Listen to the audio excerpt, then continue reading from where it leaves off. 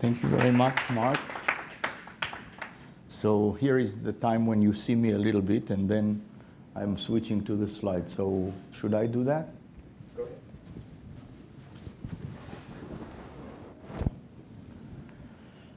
So the book is about human curiosity. Uh, and the reason I wrote a book about human curiosity, even though I'm an astrophysicist and not a neuroscientist or a psychologist, is because I am a very, very curious person.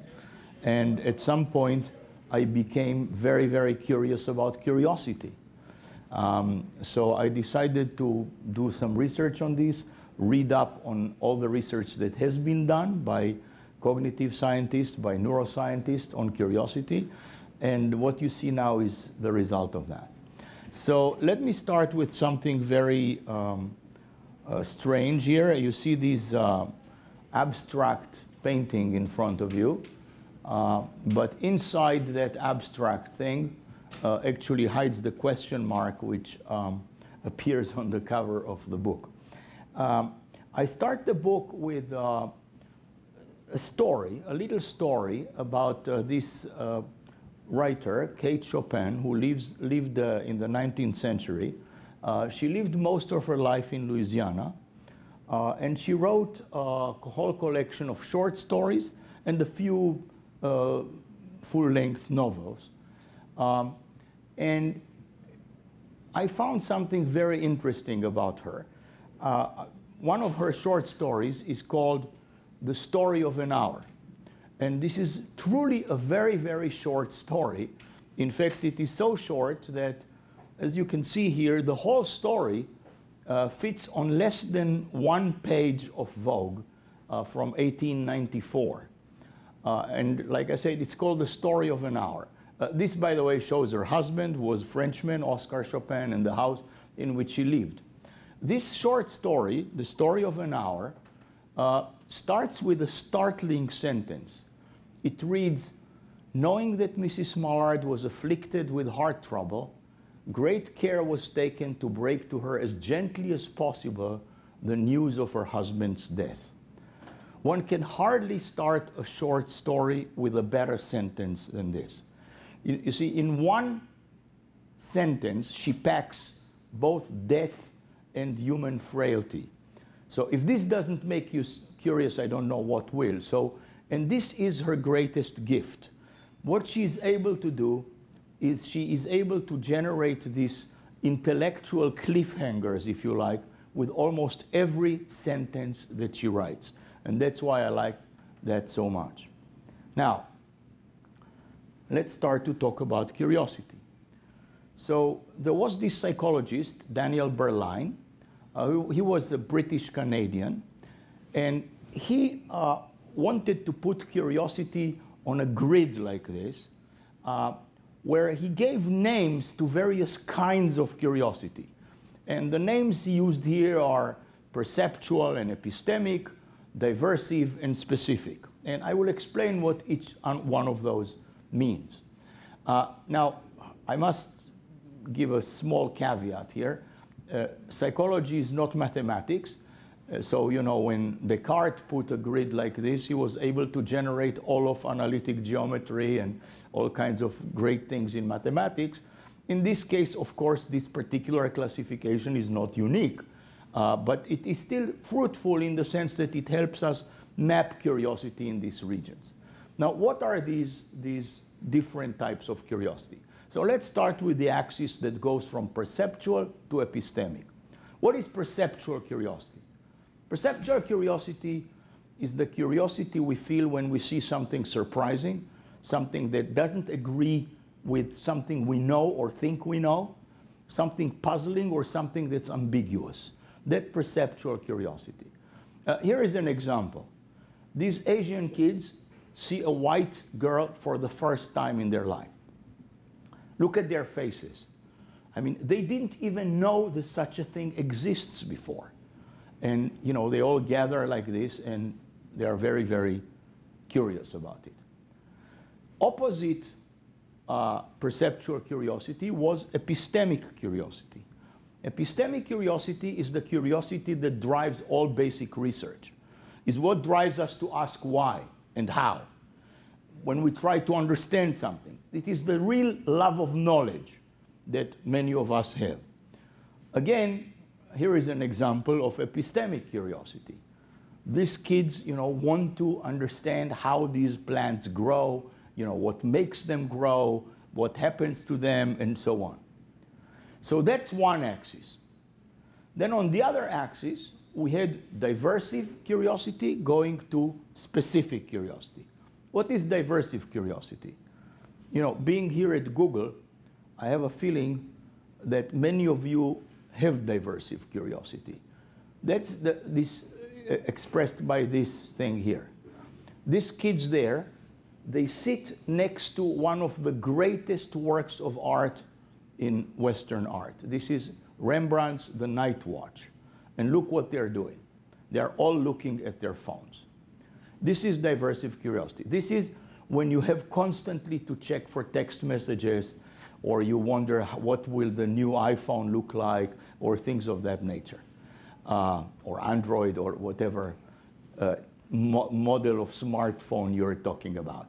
Finally, there is opposite diversive, there was specific curiosity. This is when you're actually curious about a very particular piece of information. You know, like uh, who was it that created the first chip for the first Android telephone? Or, uh, you know, we saw this film last week. What was the name of the actor there? You know, and so on. Like, you know, for, for example, here, who is this? Does anybody know by any chance who this is? This is Ernest Hemingway. Uh, here is in 1918. He is uh, in Milan. So that's specific curiosity. You need a very specific piece of information. You're given that piece, and that's it. You, you're satisfied with that. Now, while before I start describing to you the research on curiosity, the neuroscientific and psychological research, I, I thought in the book, I decided to look at a few very, very curious people, both in the past and people who are living, and to analyze a little bit what is it that drives them? What is it that you know, made them such exceptionally curious individuals? So the first one is Leonardo da Vinci. He has been called by uh, you know, art critic Kenneth Clark uh, the most relentlessly curious person to have ever lived. And indeed, Leonardo was amazing in many ways. Of course, he has incredible works of art. He has all kinds of very interesting inventions uh, associated with his name. But perhaps most amazing is, are his notebooks. Uh, these are two pages from his notebooks. There are today about 6,000 pages that remain from the collection of about 15,000 pages of notebooks that existed. When you look at this, it looks at first like some collection of unrelated doodles. By the way, he, he filled, you know, if you look at the period of time which he wrote notebooks, uh, you, you discover that on the average, he had to fill out every day at least a page and a half, every day, in order to get this amount of notebooks. The notebooks always contain drawings, and they also contain writing, which he always wrote. He was left handed. He wrote from right to left and in mirror image. In order to read it, you need to put a mirror to it. Now, you look at this, and at first, you know, you don't see much connection between the things. When you look a little bit more carefully, you start to see two main themes here. One is a whole host of geometrical curves, and then certain phenomena. And the phenomena include waves in a pond, water, there are clouds on the right-hand side of this image, there is the hair of this old gentleman, which looks almost like the clouds exactly, and things like that. Then there is the phenomenon of branching. You have this plant right in the middle of the figure. You have a tree right underneath the old gentleman, and you cannot quite see it here, but if you look up close to, uh, at this image, you will see that actually the branches of the tree, they are transformed into the veins of the old man seen through his coat. So the two phenomena here are curves and things related to these curves and branching. So this gives you a little bit of an idea how his mind might have worked. You see, he was very visually inspired by things that look in certain ways. So let's say he started, you know, studying, okay, how do waves propagate from a pebble thrown into a pond? He looked at that and he said, aha, there are some geometrical curves associated with that. Once he had those curves, he started thinking, but in what other phenomena do I see curves like this? And that led him, let's say, to the clouds or to the hair of this gentleman. And you know, if you look at his drawings, when he draws flows of water, which is a phenomenon he uh, dealt with a lot, then his drawings of flows of water look very much like braids of hair. And when you look at his drawings of hair, uh, for example, the National Gallery in Washington, D.C. has is painting Ginevra de Benci. You look at the hair at the front of her face, and it looks just like turbulent water. So he really connected these things in his mind and, and you know, thought about them together. Now, what was he interested in? In everything. You know, you look at the collection of books he had at one point in time, 106 books. There is almost no topic that he didn't have a book on. There is one topic that he really stayed completely off, and that was politics. And that was a very good idea because he lived at the time when the Borgias reigned. And the Borgias, just everybody who got involved in their politics got more or less killed. Leonardo, by staying completely out of politics, actually managed to have them patron his works and, and, and, and fund him. So he also was very, very interested in anatomy, of course. And his interest in this was very different from that of almost anybody at his time.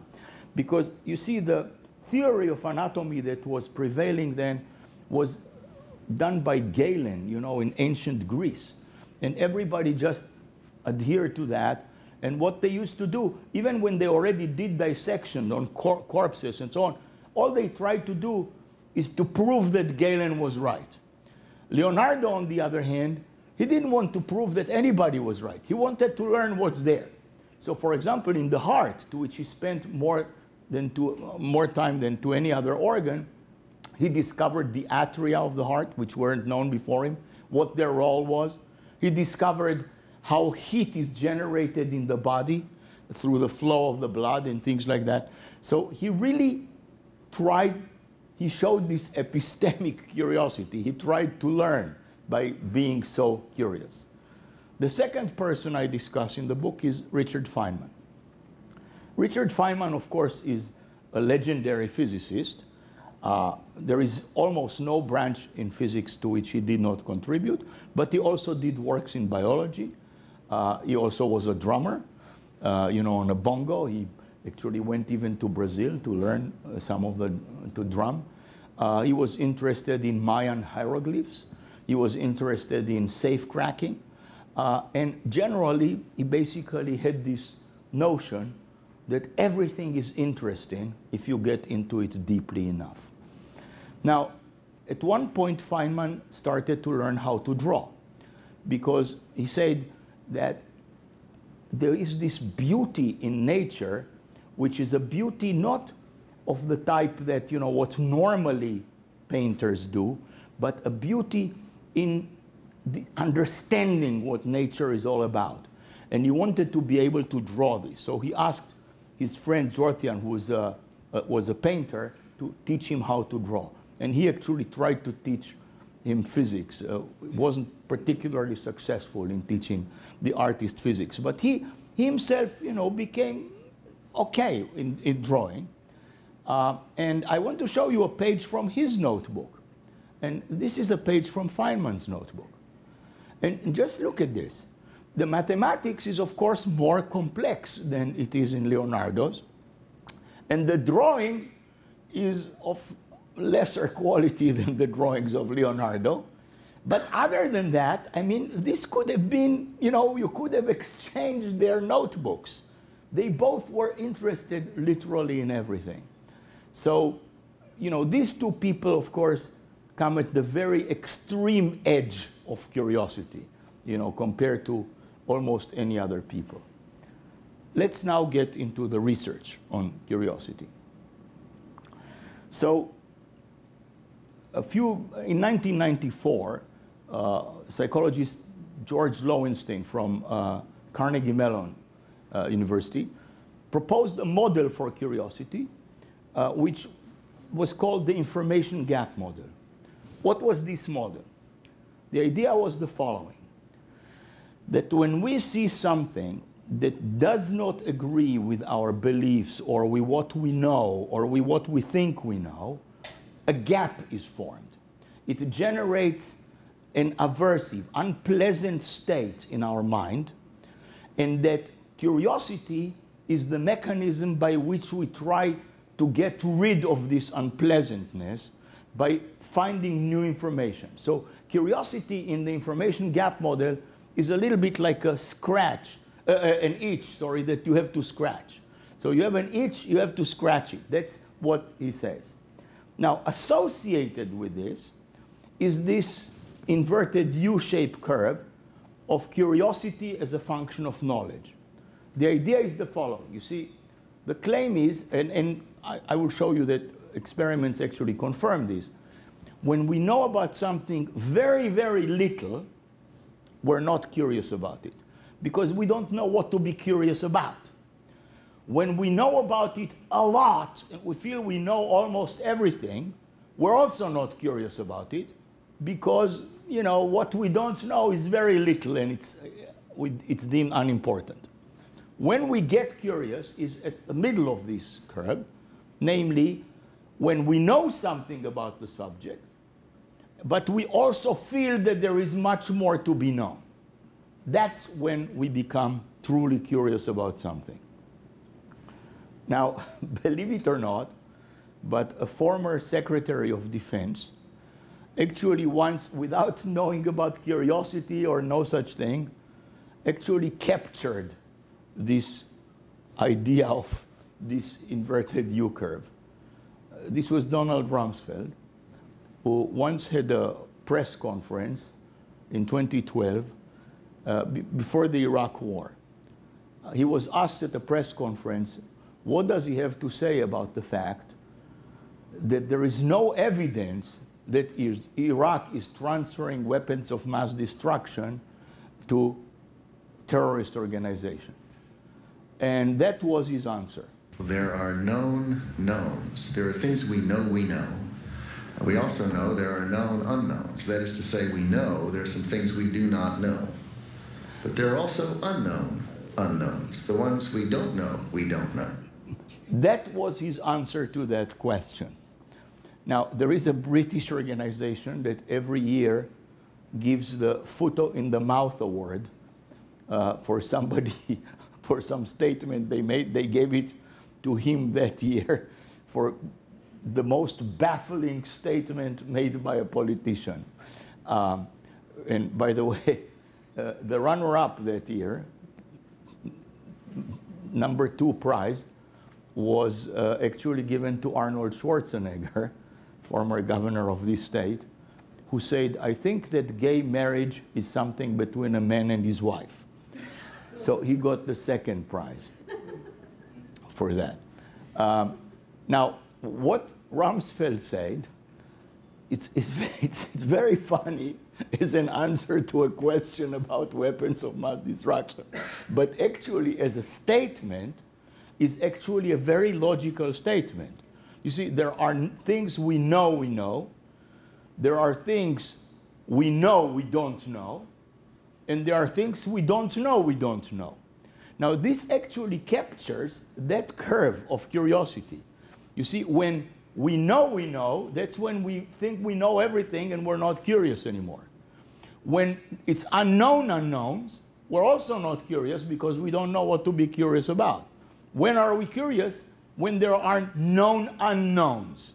When there are things we know that we don't know. That's when we become curious. So, oddly enough, this bizarre statement, which is, however, logical, actually captures that thing. Now, experiments actually confirmed the idea that at least for perceptual curiosity, I remind you, that's the curiosity you feel when there is something puzzling or ambiguous, then it is actually associated with an unpleasant feeling, and it also activates those regions in the brain. How do they do that? How can neuroscientists do, do these experiments? So what they do today, I mean, they have tools that once were not uh, available to them. Uh, they can do functional MRI. Namely, they can put people inside MRI machines and can try to make them curious and to see which regions of their brains are activated. Now, these are not easy experiments because you cannot take somebody and tell them, be curious now. You know, that's not possible. So what they do is, for example, in this particular experiment uh, conducted by Marieke Jepma, a Dutch uh, neuroscientist, is that they showed people this collection of images where they first show them a blurred image and then they show them a clear images, sometimes of the same object, like the accordion here. They show a blurred image of an accordion. They ask people what do they think that is and so on, try to make them curious about that. And then they show them the real accordion.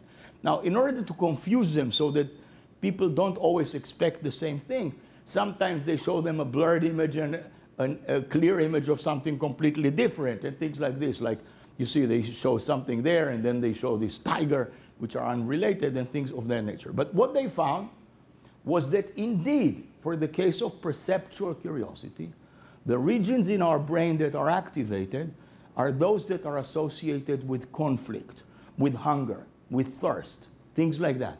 So it's like, like a basic need. It's an unpleasant situation. So for perceptual curiosity, the information gap model actually works quite well. Now, and, and in also uh, uh, shows this inverted U uh, shape uh, curve. Now, what about epistemic curiosity? I remind you, that's the true love of knowledge, the thing that drives us to be scientists, things like that, yes? So there is another experiment done by a researcher named Kang and her collaborators. And what they did in this case is they presented the uh, subjects with a series of trivia questions. I remind you, this is, we're testing now the, the love of knowledge, the wanting to learn, things of that nature, yes? So they presented them with trivia questions such as, um, I don't know, you know, which musical instrument was invented so as to sound like a human voice? Okay, do you know what that is? The violin, yeah. So uh, so, you know, so the questions like this, and they also, you know, checked how curious people were about this and so on. And they discovered that in this case, actually, curiosity was associated with a pleasurable state. Yes, and this actually has been suggested by another psychologist uh, named Spielberger, uh, that when we want to learn something, that's associated with a pleasurable state. And indeed, the areas of the brain that were activated by this type of curiosity were those associated with an anticipation of a, or reward, of a reward. Namely, our brains interpret the acquisition of knowledge as a reward. It's a bit like, you know, when we get uh, chocolate or when we get drugs or you know or we win the lottery or things like that an anticipation of reward when you uh, sit uh, in a theater in a play you always wanted to see and you wait for the curtain to go up. Things like that.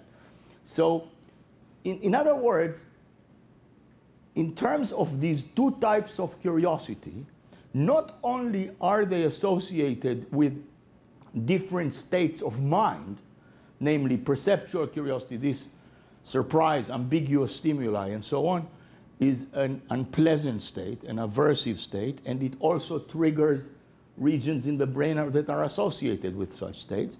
In the case of epistemic curiosity, this love of knowledge, this is a pleasurable state, an anticipation of reward, and it triggers area in the brain that are associated with such rewards.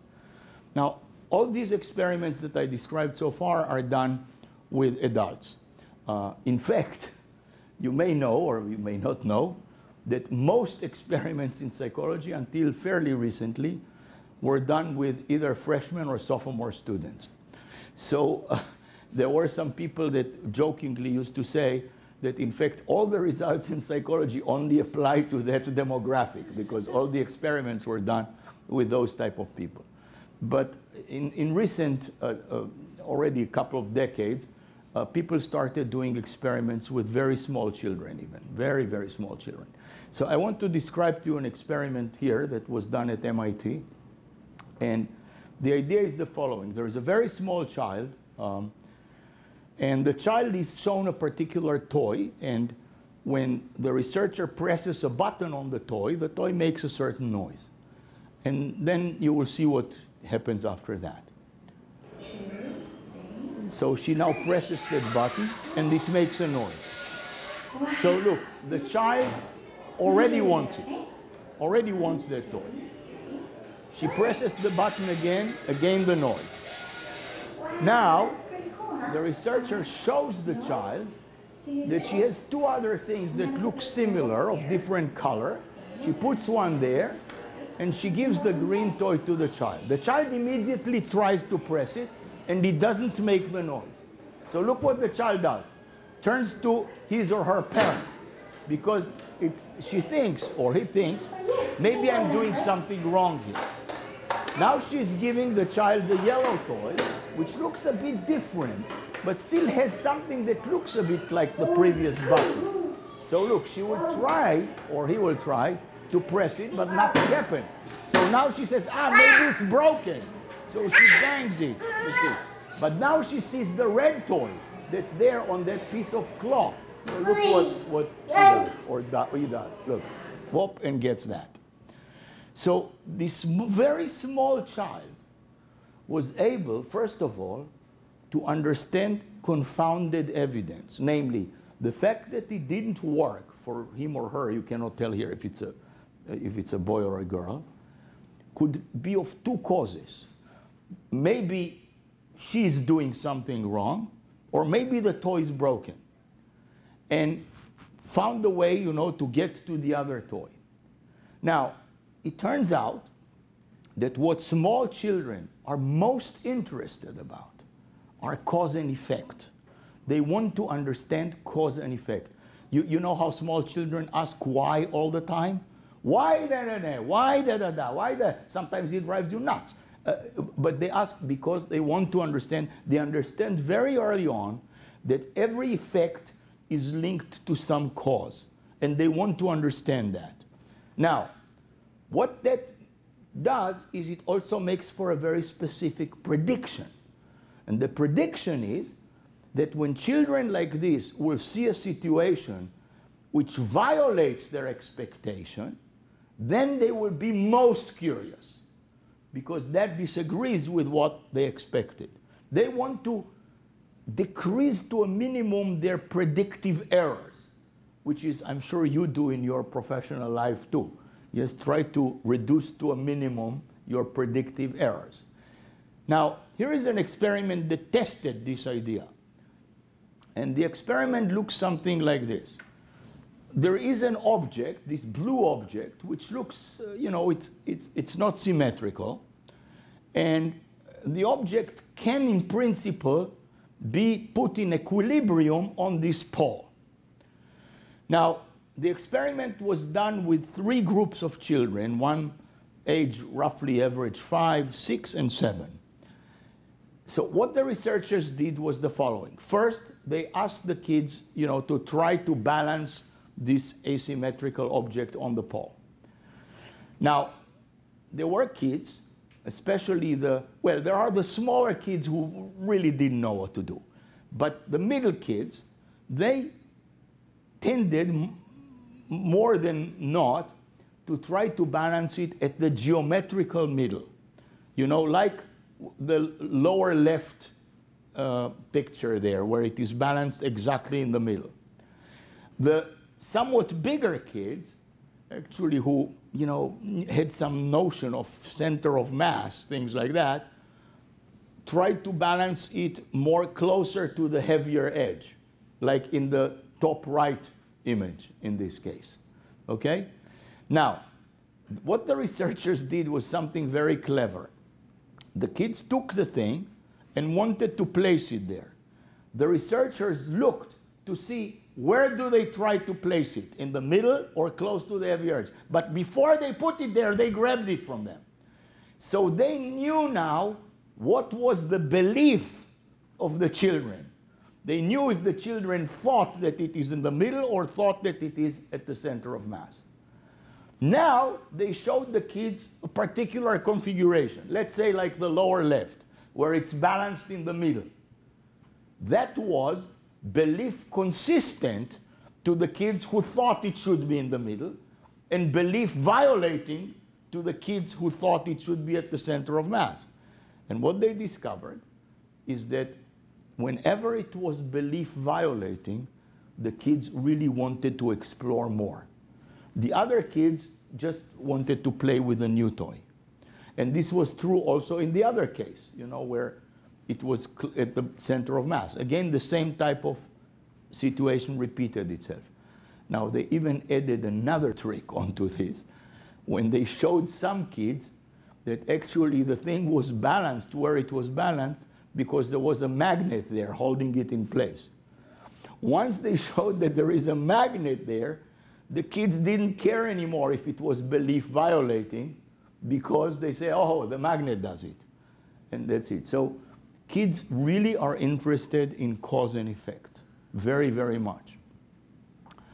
Okay, how did we get to this situation where our brains, you know, are able to do all these questions, why and so on and this, and other animals, believe it or not, they cannot. I mean, we are the only species that asks why. Other animals can be curious, but they are not interested in why.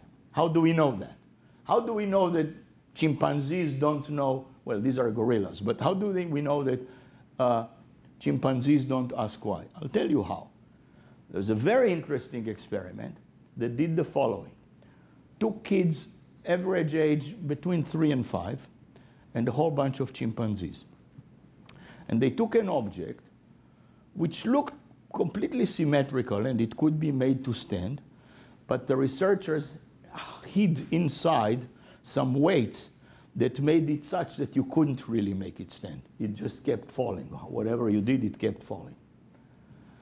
The kids, these very small kids, once they saw you cannot make it stand, more than 60% of them took the thing, examined it from all sides, examined it with their hands, you know, and so on.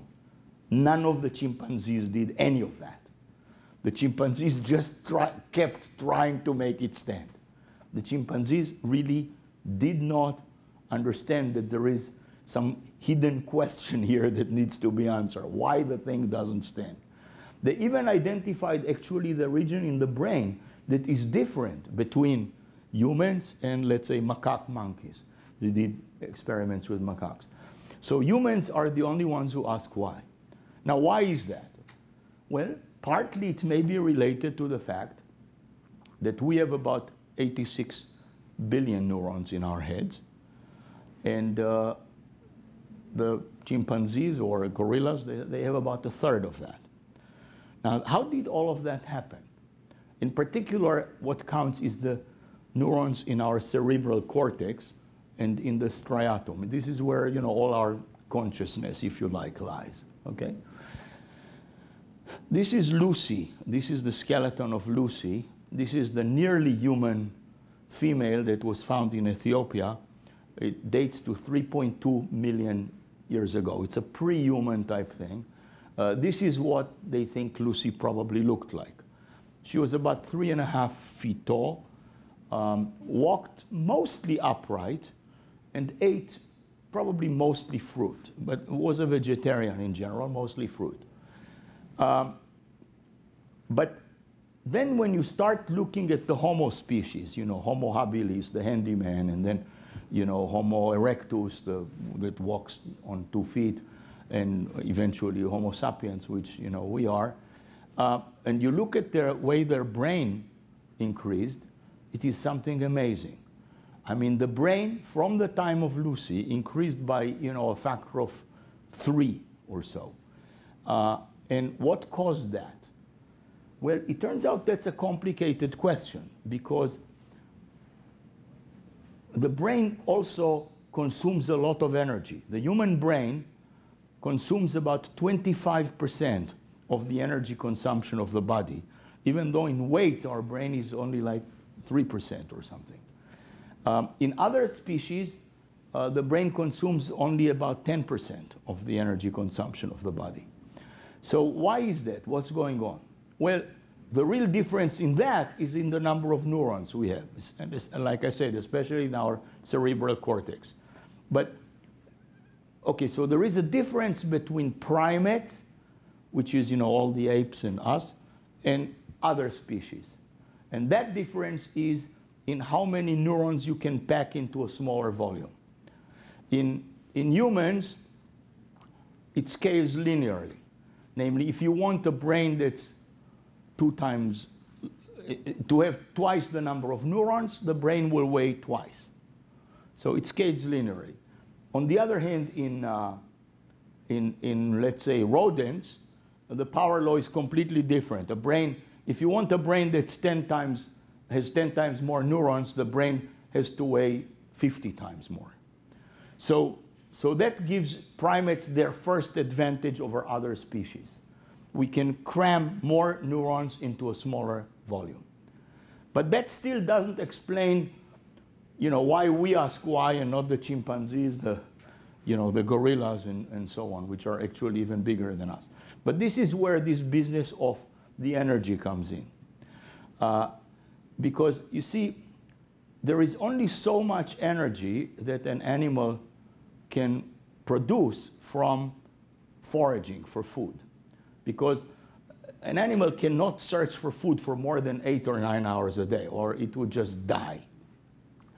So you look at the maximum that it can forage, and then you know you look at okay how much how much weight you can support and what kind of a brain you can support. And when you look at that, in simple terms, it turns out that for 165 pounds, let's say, you can support at most maybe 30 billion neurons, which is about a third of what we have. So what gave us this advantage over these other primates?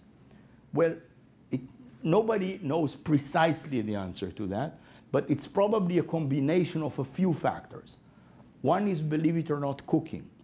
So you're here at Google, you get very good food uh, which is being cooked, and that's very good because cooking allows you to get more energy for, you know, from the same type of thing because you can digest it more easily. Uh, you can digest types of food that otherwise our body could not digest, you know, like rice, let's say, or things like that. Um, and th so th there are a few other things. The digestive system, as a result of cooking and other things, became shorter in humans, and the digestive system consumes a lot of energy by itself. Walking upright is another thing, because walking on four knuckles consumes more energy than walking on two. And what I like to say is that curiosity also played a role in this mix in a way of a, some sort of a feedback. Because uh, you see, imagine, you know, these early humans once saw a fire hit the forest, and then uh, some animal got burned. Then out of curiosity, okay, they tried to eat that. And they found that, aha, this is easier to chew, and uh, you know, and it tastes maybe better, and things like that. Or, uh, you know, Homo habilis, you know, started to do some tools. Uh, he or she discovered that, oh, I, if I uh, somehow sharpen this, this branch here, then I can get into the bones and get the bone marrow out of that, and that's very tasty, and things like that. So uh, a combination of these factors gave us our advantage. Now, from everything I've told you so far, you realize that curiosity actually is one of the most important things in our lives because it drives almost everything we do from a simple conversation.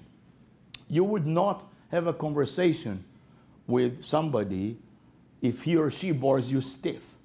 I mean, you have to be somewhat curious about what they have to say.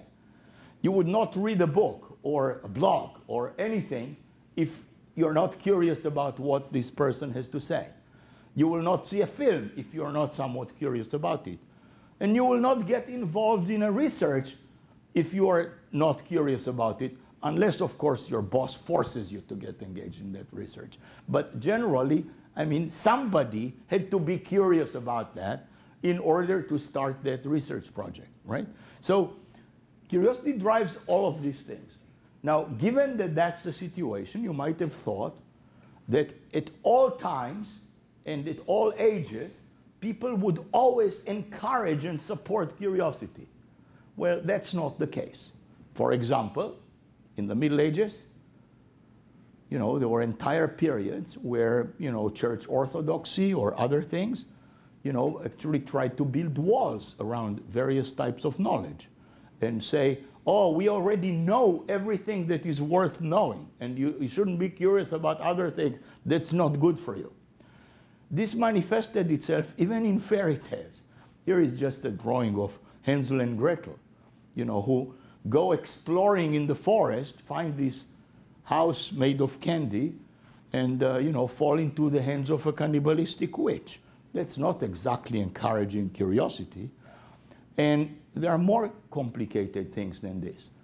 In 1937, the Nazi regime organized in Munich the Degenerate Art exhibit, where they collected all the works of all the masters of modern art, you know, Ernst Ludwig Kirchner, Paul Klee, all these people, and put them together in an exhibit which was supposed to convince the masses that this is all some malicious plot of Jews and communists against Germany. Uh, this is Goebbels visiting the, the, this art exhibit. So you see all of these things, and uh, we must be very careful about our curiosity. And I coined the phrase, which I'm very proud of, which is curiosity is the best remedy for fear. Because you see, we are very often afraid of things that we don't know or don't understand or look strange to us. And if you become curious about them, then you are not anymore fearful of them. And I was very satisfied when I discovered that, you know, I thought I invented this phrase, and I did. But I wasn't the only one who thought about something like this. In 2008, there was an art exhibit in Copenhagen, and they put this sign up replace fear of the unknown with curiosity, which is very much the same. Now, as part of this book, I also, I told you, I interviewed nine exceptionally curious people who live today. So I'll tell you very quickly who they are. So Freeman Dyson was a legendary physicist, Noam Chomsky, Story Musgrave, Fabiola Gianotti, Marilyn vos Savant, Jack Horner, Martin Rees, Brian May, and Vik Muniz. Let me tell you very briefly who they are. Vik Muniz is a Brazilian artist uh, who makes, he recreates works of art from everything. From chocolate syrup, he can recreate the Mona Lisa. From mustard and diamonds, he recreates, you know, maybe the night watch. He used garbage and garbage collectors to recreate masterful works of art. Uh, Brian May was the lead guitarist of Queen, the rock band, but he's also a PhD in astrophysics. He was the chancellor of John Moores University in Liverpool. He's a big, big advocate for animal rights. He's an expert in Victorian stereophotography, so has many interests. Lord Martin Rees, a very famous cosmologist, but also founded the Center for Existential Risks about all the risks that humanity is facing and things of that nature. Jack Horner is from Montana. He uh, is a big paleontologist. He was um, science advisor to all the Jurassic Park movies. Uh, he's also extremely dyslexic. He told me that he can read today like a second grader. And you know, when I asked him, how is that possible? How can you do research if you cannot read? And you know what he told me? He said, I tell my students, if you do it first, you don't have to read that much. So, you know, so, and it's true at some level.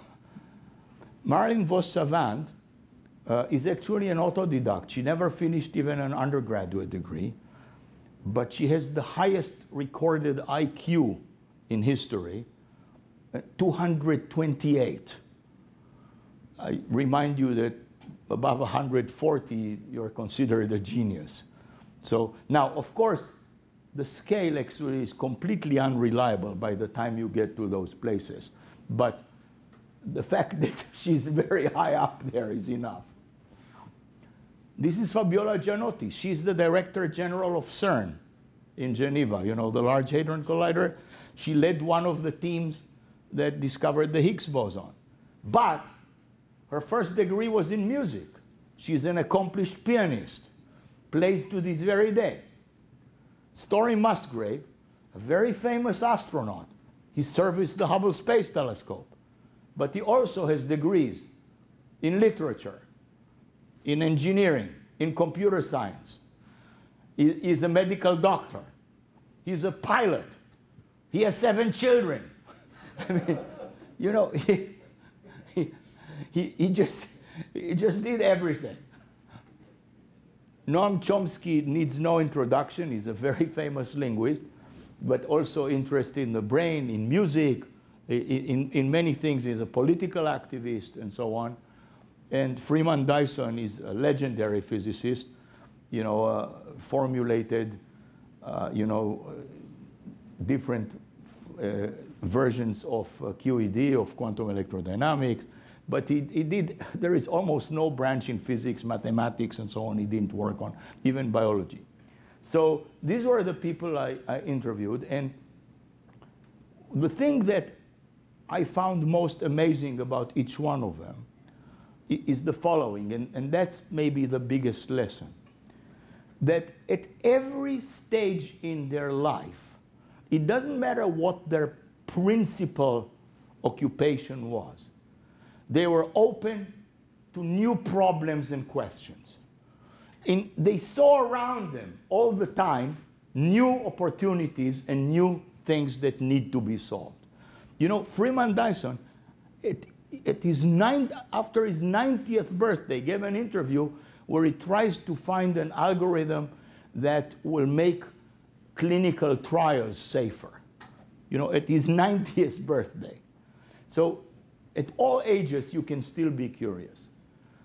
Now, I cannot finish a talk about curiosity without returning to Leonardo, who said once, blinding ignorance does mislead us O wretched mortals, open your eyes. And the one person that is my icon, I'm an astrophysicist, and who opened his eyes all the time. Einstein here opened his, his eyes once and uh, twice and uh, thrice. Thank you very much. Okay, we have a little bit of time for questions, and here's a question. What would you say is the relation between creativity and curiosity? Yes, the, the relation between creativity and curiosity. Okay, so there is this um, very well-known psychologist from University of Chicago. He's now retired, but very well-known. His name is Mihaly Csikszentmihalyi. And he actually did a big study on creativity. In particular, he interviewed about 100 creative people. And he discovered that curiosity was absolutely essential to each one of them. So creativity and curiosity are not the same, but curiosity appears to be a necessary ingredient for creativity. Any other questions? Other questions? So uh, sometimes I think about the downside of curiosity.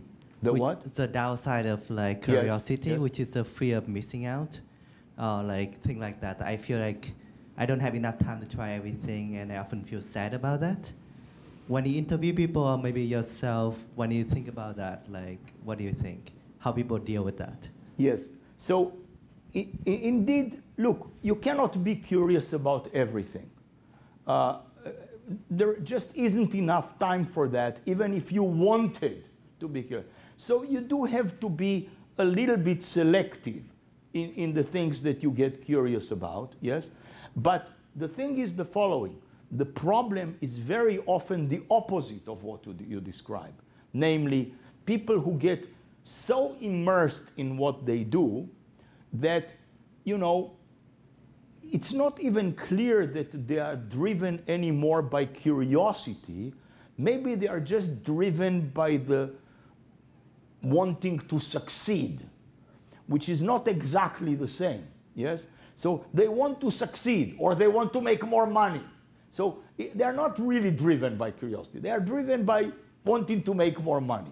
I'm not saying there is something against that, but this is more often the problem than the problem you describe. You describe somebody who is curious, wants to be curious about many things, but maybe doesn't quite have the time to get curious about everything that. uh, so, you, you know, prioritize your, your things, namely, choose a few things that you are really curious about and get interested about them. And, you know, in different stages in life, you actually may do. You see, I didn't start writing books. I, I worked in astrophysics most of my life, and only in 2000 I started writing popular science books. This is my sixth book. So until that, I wasn't that interested in writing books. I wanted to write papers. I, I wrote more than 400 papers, you know.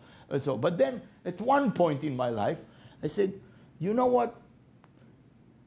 Uh, suppose I will write 10 more papers, 20 more papers, 50 more papers. Is that really going to make a huge difference? And, you know, very often you decide that probably not, because uh, being a theoretical physicist, we tend to do our best work when we're relatively young, you know. So at that point I said, well, let me try to reach a broader audience, you know, and so on, and started to be interested in science writing. So you may still find the time in your life when you will be curious about something else.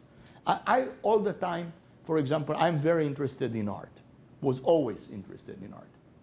So I, you know, do science and I always liked art. I have no talents in art, but I'm very interested in art. So I have many art books and things like that.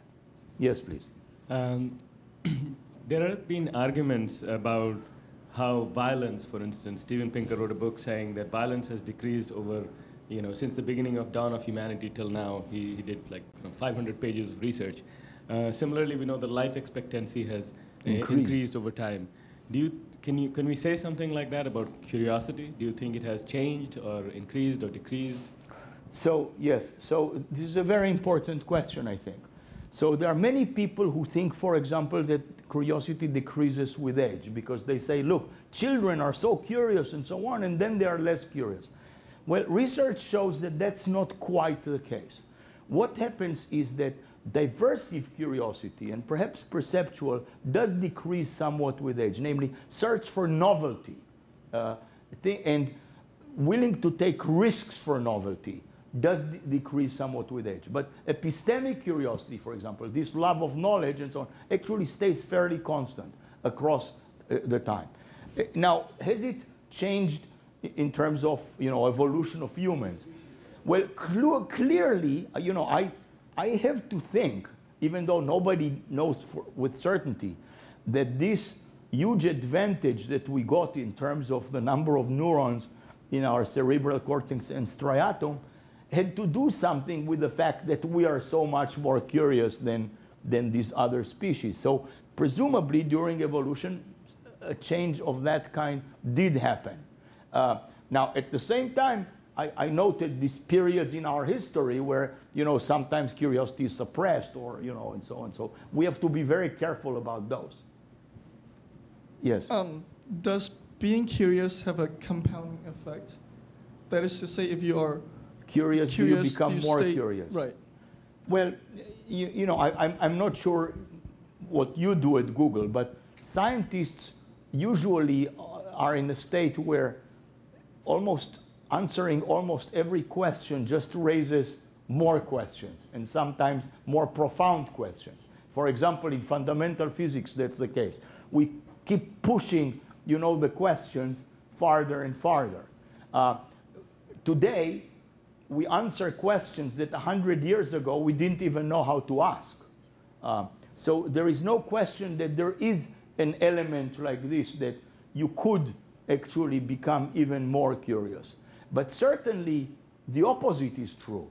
I think if you allow yourself not to be curious for a long period of time, you're probably, you know, you decline into a state of lower curiosity. Now, mind you, every person is curious, other than people who suffer from deep depression or have certain brain injuries. Everybody is curious. Not everybody is curious the same, in the same way that not everybody is intelligent the same or has some talents the same. And also, not everybody um, is curious about the same things, but they may be curious about other things. And we have one more question. Please. Hi, um, this is, was a wonderful talk, and my last question, I guess, is about what you believe is cure. Um, how do I ask this? So one way to think about curiosity, I guess, is that uh, curiosity can be like a resulting phenomenon from a situation in which you do have sufficient knowledge but not enough knowledge to really understand right, something. that's the information um, gap. Yes. And then on the other side of things, you could also think of um, like human capability to take um, to feel curious and or human capability to um, take effect and or act upon that kind of curiosity. I'm wondering like what your views are on whether you can um, improve like a human's capability to feel more curious or things like that. Yeah. So I, I think this should start from small children. Um, and the way I think that works is, you see, sometimes this is a new book, so I only had uh, so far a few talks on this. But people ask me, you know, how do I make my child more curious? You know, people ask, ask me questions like this. Uh, or somebody asks me, how do I make my, my coworkers more curious? And the way to achieve that, again, I'm not a specialist in education, but that's my perception from everything I've now read, you know, and, and, and, and, and learned, is that you have to start with things that they are already curious about. And the e example I like to give is that most small children are curious about dinosaurs, for example. Most American small children are curious about dinosaurs. So if you want to teach them science, don't start with trying to explain to them the free fall acceleration, which they really don't care about at all. Start with dinosaurs, because they're already interested in that. And then from dinosaurs, you know, you can perhaps, you know, lead them. If you think about this thoughtfully enough, you can find a way, you know. You can start with the dinosaurs, and then the dinosaurs uh, were, we think, were extinct, became extinct because of an asteroid that hit the Earth. And once an asteroid hit the Earth, you start to uh, I'm just saying, maybe you wanted to tell them about free fall acceleration. Then you say, okay, an asteroid hit the Earth. Oh, we can actually try to calculate how much energy is an asteroid that hits the Earth, and, and so on. So start with what interests them already, instead of starting with what you think they should be interested in, because they may not be interested in that. Thank you so much for coming to Google.